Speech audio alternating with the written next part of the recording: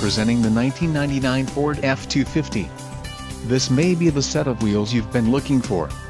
Enjoy these notable features, 4-door, rear legroom, 32.4, passenger airbag deactivation switch, two 12-volt DC power outlets, front legroom, 40.7, power steering, non-independent front suspension classification, right rear passenger door type, reverse opening, front head room, 41.4 and rear shoulder room, 68.0.